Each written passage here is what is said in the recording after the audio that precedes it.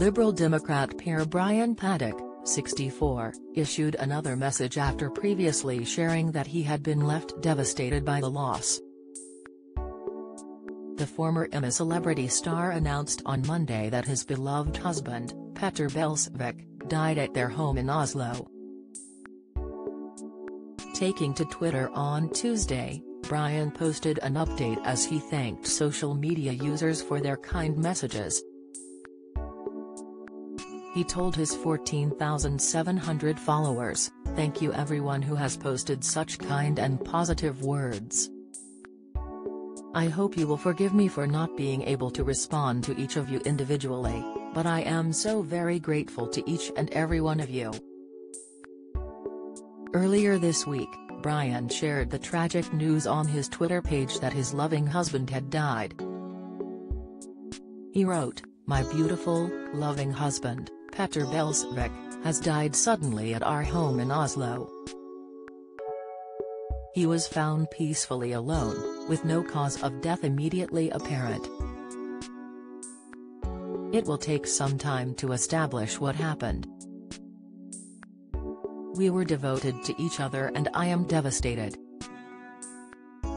He was inundated with messages of support online following the tragic news. The Liberal Democrat peer married the civil engineer 14 years ago. Petter was found peacefully alone, with no cause of death immediately apparent in his Norway home. Over the weekend he shared pictures on his social media account from Oslo after he posted photos from his trip to South Africa earlier this month. His final Instagram post comes just days after Brian announced the heartbreaking news. Petter shared a snap of the snow-covered trees, writing, Brutalist Snow. On February 14, he shared a selfie in the sunshine while sporting sunglasses, writing Glorious.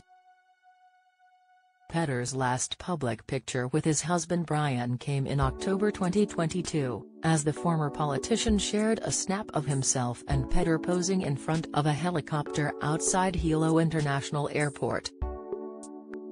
The Sun newspaper published a headline when I appeared naked on a reality TV show, Brain captioned the shot 21 weeks ago. So here's a rerun of The Copper with the Chopper. Sky News journalist Kay Burley said, My dear Brian, this is truly tragic news. All my thoughts are with you. Stay strong 30 while loose women and I'm A Celeb's Charlene White wrote, Oh my goodness Brian, I'm so so sorry. Sending you and the family my love 20. Former BBC Home Affairs correspondent and journalist Danny Shaw wrote, so sorry to hear that Brian. What a terrible shock. Thinking of you. Brian and Petter met in a bar while on holiday in Ibiza before they went on to tie the knot in Norway back in 2009.